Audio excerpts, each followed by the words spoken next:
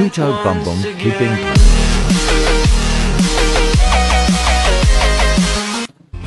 Hello guys! Dahil magpapasko na naman, kaya tayo mga Pinoy naghahanap na naman po tayo ng mga pagkain ating kinahiligan at kinalakihan kagaya ng puto bumbong at ng um, bibingka. Sa mga nagta-travel po dito sa bandang Laguna, lalo na po dito sa San Pedro, eto po, andito na po, huwag na po kayong lumayo dito sa may tabi ng simbahan. Nandito po yung mga nagtitinda, mga nakahilera sila. Mura na, masarap pa. Garantisado. Dahil bumili po kami at talagang super affordable po. Siksik at liglig din. Arat na guys! Bili na! Tara na! Oras ang pagtitinda nyo rito ng bibingka? Magdamag? Hanggang maubos lang?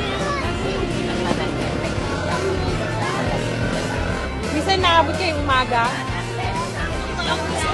Oh, okay.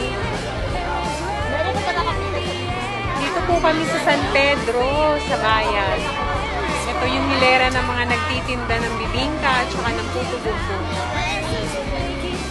namin nila, napakalinis naman po. Sa mga lumadayo dito sa San Pedro, yan.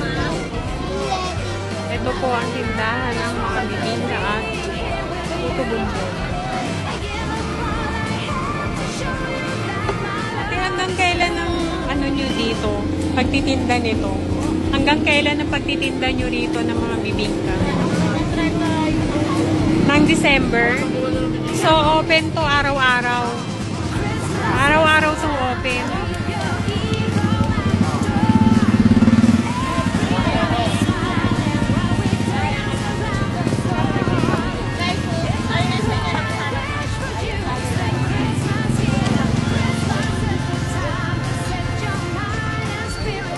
Dito po kami. Bumibili kami ng bibingka. May libreng tea. Tea nila? Avocado tsaka pandan. Ang daming customer, pila-pila.